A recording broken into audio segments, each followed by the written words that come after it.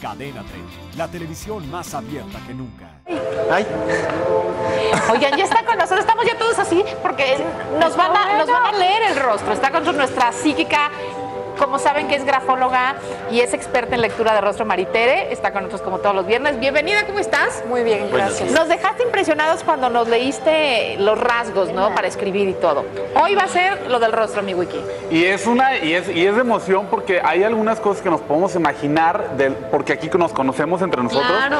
Pero pues ¿por, dónde- por quién empezamos? ¿Quién dice A yo? ver, por ti. Allá. No, no, no. Ya, a ver, ya. Yasmin, de vamos allá con para Yasmin. A ver. Si usted tiene rasgos como los de Jazz abusado, porque para que vean cómo son los que tienen Echarme para atrás la cara para que lo vean bien. Venga, Ahí de ahí. Mira, ella es un signo de tierra, es un rostro un poco cuadrado, muy terrenal. Ahí estamos viendo muy marcadas sus facciones. Es una persona muy generosa. Cuanto más anchas tengamos las fosas nasales, es una persona que da mucho. Al igual que también ella, también las tiene igual. Y tú también, bueno, los cuatro son personas muy generosas. Cuanto más pequeñas son las fosas nasales, la persona guarda mucho el dinero para sí. Tú también las tienes muy bien, o sea, Ah. son personas equilibradas que les gusta dar. En las cejas, también si tienen unas cejas muy bien delineadas y gruesas, estamos viendo la salud. Lo largo de la ceja hasta donde termina es el tiempo de vida de una persona. Si tienen ustedes la ceja como ella, que va más allá de donde termina el ojo, va a vivir mucho más de los 90 años. Pues tomen nota. tomen nota. La o sea que le van a abuelita cambiar el pañal cuando ya 90. También en la ceja nosotros podemos ver cómo es la persona mentalmente. Si eh, los cabellitos de la ceja van hacia arriba, que no están peinados, hay desequilibrios a nivel psicológico. René, suéltate la persona- ceja. No, Se las empezó a poner. No, Bueno, a ver, a ver, René. A ver, René, que también. Nadie aquí tiene las cejas con desequilibrios mentales, o sea, son personas que las No tienen totalmente disparadas hacia arriba y quitar las cejas también estamos quitando salud. Quien se la depila totalmente y la marca solamente como una pequeña línea va a tener muchísimos problemas de salud. Ay, pues, también es tomar nota. importante que sepamos que si quitamos este, algunos lunares de la cara que están en puntos estratégicos de la salud, vamos a cambiar nuestro destino.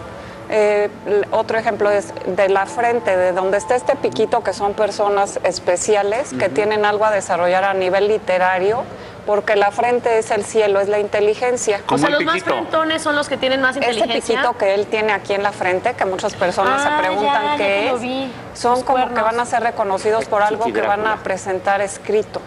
Algo que tiene que ver con la inteligencia. Y de verdad yo sentía mal porque sentía que tenía cuernos. No, es, es alguien que piensa mucho, que va a escribir algo importante, que se va a dar a conocer.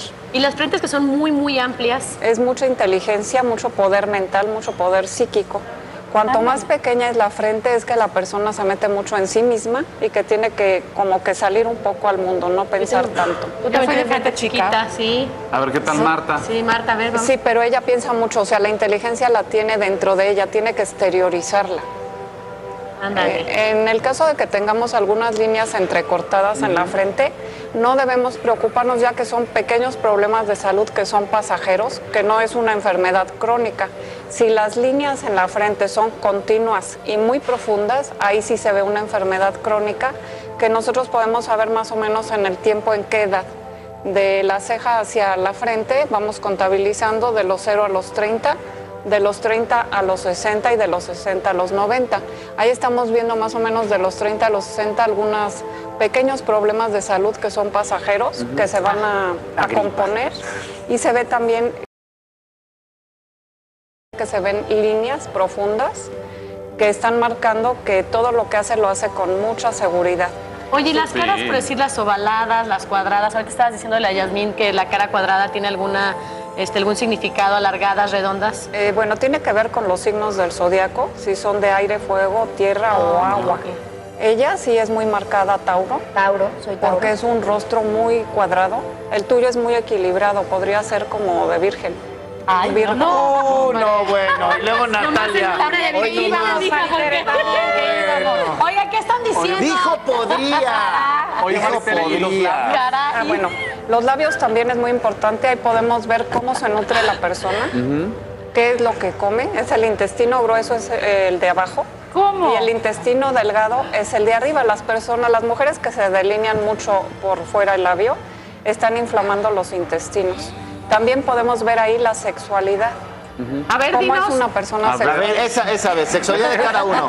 Sin, sin esa lengua, sin esa lengua. Bueno, mira, eh, no de ellas, pero sí en general de la gente, el labio de abajo, eh, el hombre puede ser infiel cuando es un labio muy pronunciado, muy grueso. Esos Te están diciendo mentiras y sí te pueden engañar. Cuando la mujer tiene el labio superior muy grueso o inflamado hacia afuera, es infiel. Si te está engañando. También eh, podemos ver por la boca si la persona es reservada, si va a guardar el secreto que nosotros le estemos Como contando. A Natalia. ver, Wiki tiene la boca súper delineada. Él la tiene pues muy equilibrada, es una persona honesta y confiable. Son personas que no te van a dejar mal. Vicky. Platicar tus A ver, secretos. Martita. ¿Y Marta? Ella también trompuda, tiene muy equilibrado, bien de los intestinos, no le veo ningún problema.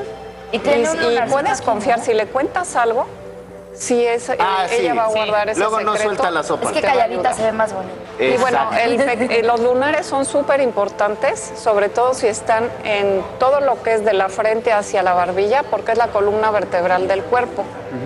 Ahí si una persona tiene un lunar en la nariz, quiere decir que le van a robar mucho dinero. Vean. sí, ahí Yo sería tenía uno y me lo quité. Ahí sería Te dejaron de robar, amiga. Lo- acá. Sí, ahí sí sería bueno hacerle una cirugía y quitarlo porque estamos cambiando el destino.